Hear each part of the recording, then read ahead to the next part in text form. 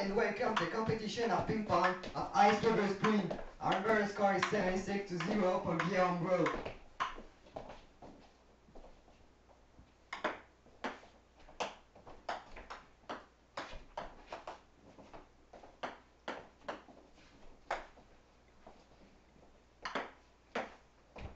It's now the time for a break.